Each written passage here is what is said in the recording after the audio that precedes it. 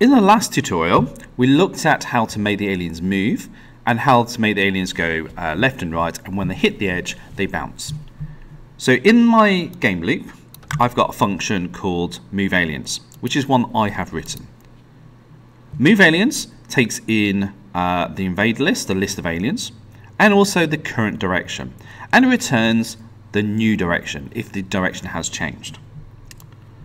Looking at the move aliens code, now I've now adapted this. So like before, I've got this move underscore IP and that basically moves the aliens based on the current direction. However, I've now changed the way things work in the sense of the collision detection. So I'm going to do the collision detection first and see if we need to change direction first before I start moving them.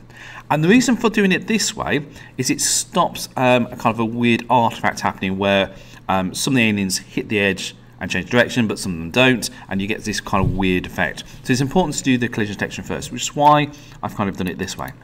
So I've got another loop, so I'm going over the invaded list twice. If any of the aliens hit the edge, which is why I've got i dot right is greater than width, or i dot left is less than zero, I change direction, but then I need to get every single alien to move down. You can see I've got an extra loop. So this loop will make every single alien move downwards.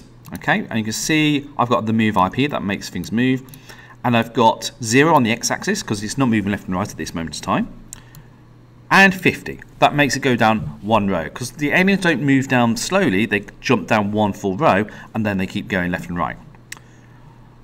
I then got this um, break command, and the reason why the break command is in there is to stop the loop once I've detected a collision. Now, if I didn't have that break command, what will happen is it will detect another collision uh, on the next row and it will move down again.